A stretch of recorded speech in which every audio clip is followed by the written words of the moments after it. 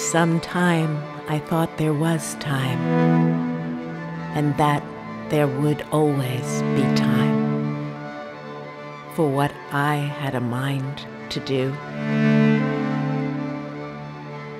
and what I could imagine going back to and finding it as I had found it the first time. But by this time, I do not know what I thought when I thought back then.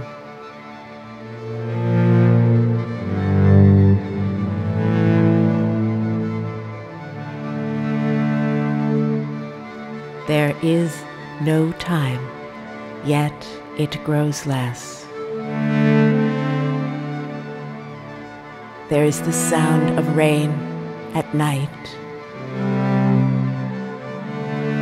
arriving unknown in the leaves. Once without before or after.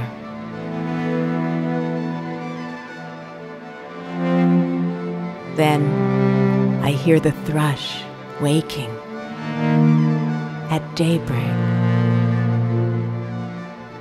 singing the new song